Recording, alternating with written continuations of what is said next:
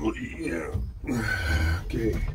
Today we're going to be replacing the on-off switch. Yeah, that's right. With a new, a new on-off switch. I picked up from uh, Memphis Equipment Supply.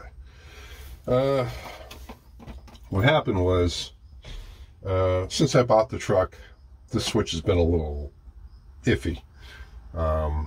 I'll turn it on, it'll cut out. Have to kind of hit it back and forth to get it to, go, to stay on. Uh, that wasn't an issue uh, until I took it out for a run. Pulling into a parking lot, the truck just died.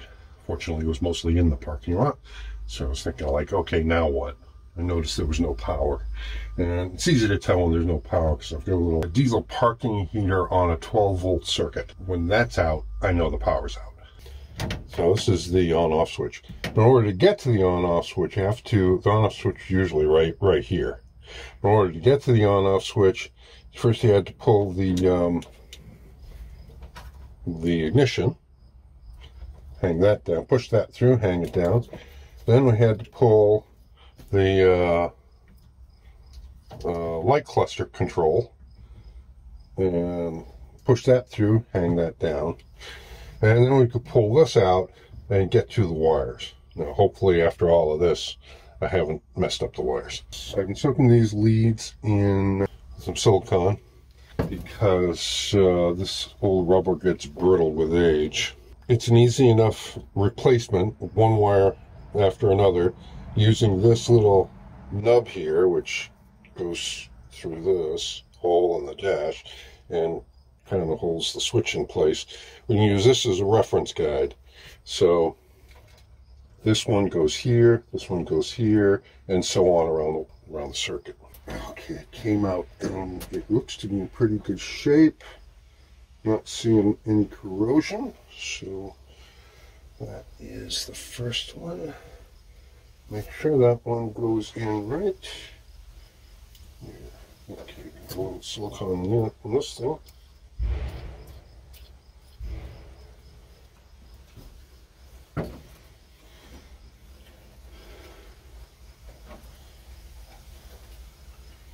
And we have contact.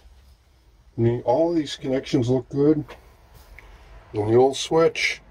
So the problem probably wasn't a loose connection here.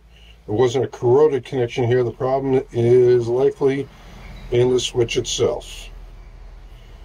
I see a little corrosion around the ring. Nothing that looks like it had serious water penetration. Now these wires themselves look to be in pretty good shape nothing that really warrant the uh, the problems I was having.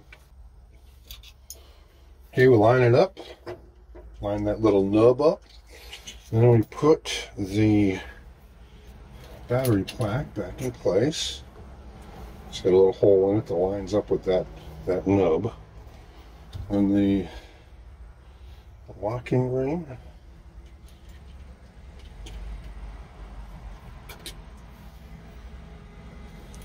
and uh, the retaining nut.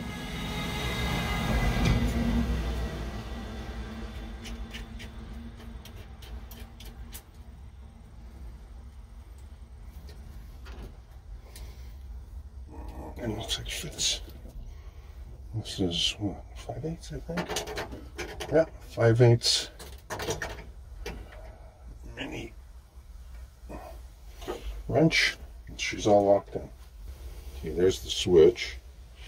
This comes with a new retaining bolt. That retaining bolt and a lock washer. I keep losing these things.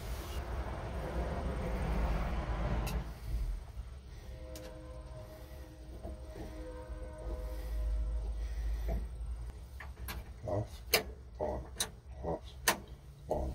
I'm not going to test the battery. I'm not going to test that switch until I get the whole thing back together to make sure I haven't fried any of these uh, connectors. Don't push the.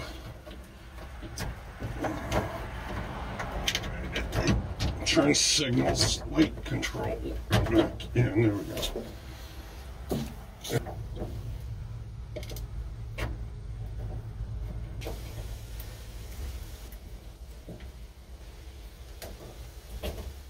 All right, now the problem I've been having with this ignition switch is it tends to turn the whole switch body. See, the uh, on-off switch has that little nub that fits in the hole. The starter switch also has a little hole, but the replacement ignition doesn't have a nub. This ring nut does not give enough tension to hold the assembly in place against the uh, the force that I need to engage the key in the ignition. Found out that that little nub hole is threaded. And it's the same thread as the old the old screw, the old bolt that went into the on-off switch knob. See barking. Oh, okay. So there's a square nut on the other side of this uh, of this round nut, retaining ring, and um, this. If I can get this in here, that ring should catch this uh, bolt on that that little square nut. Catch the the, um, the tail end of this bolt and hold it, keep it from turning. Yeah, looks like it's gonna work. It's a simple mechanical method. It also locks this ring into place. And oh, which one's the is. Let's see here. Oh, uh-huh. the ignition. Oh, there's the ignition. Let's see.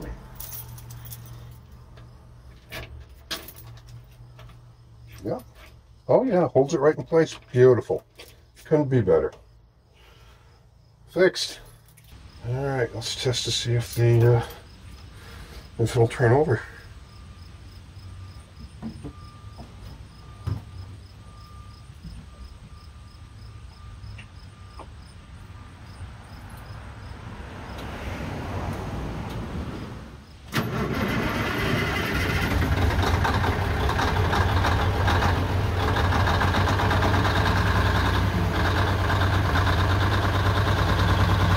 All right, starts right up. I'm thinking I might have a plug injector or something. It's charging. Got a lot of rattling tools on this chip. Got a good charge.